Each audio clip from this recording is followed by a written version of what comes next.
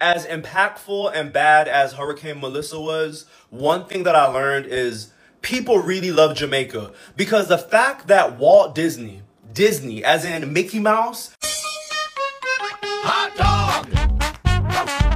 contributed a million dollars to Jamaica for Hurricane Melissa relief, like blows my mind. I never thought Walt Disney, like Walt Disney, Bethenny Frankel. I never thought I'd be saying saying Bethenny Frankel and Jamaica in the same sentence. Bethenny Frankel from the Real Housewives of New York and Jamaica. on Warehouse and tell you guys what we're doing for Jamaica. All right, Michael, let's go. Let's show the people how they can help, what we're doing, and what we.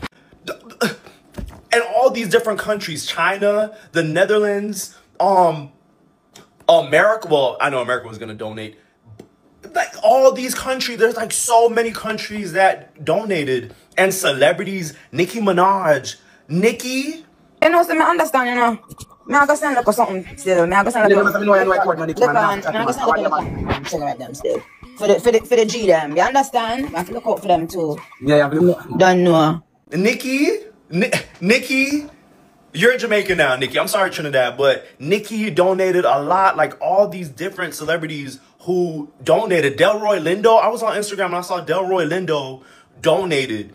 So many people are donated to to um Jamaicans, and I feel like as a Jamaican, we are so grateful for it. And Jamaica is one of the most loved countries in this world. Okay, Walt Disney